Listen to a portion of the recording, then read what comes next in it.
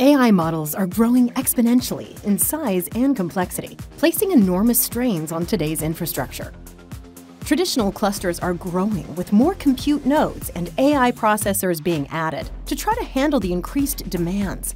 But that has exposed enormous I.O. bottlenecks that considerably increase power consumption while greatly limiting the scale up potential of AI clusters, causing those AI processors to waste the vast majority of their time idly waiting for data and significantly restricting the profitability and interactivity of a cluster. In addition, the limited bandwidth density and reach and high power consumption of today's electrical interconnects make them poorly suited for scaling up, effectively limiting cluster scale to a single rack. To improve the scale-up performance of AI clusters, better technologies are required.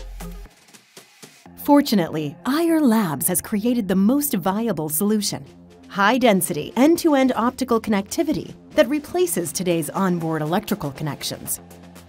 The result?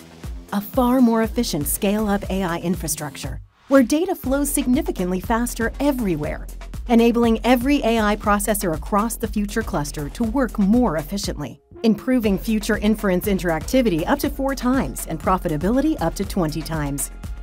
And that greater efficiency also greatly reduces costs and power requirements, creating a more performant AI infrastructure. Visit us on the web to learn more.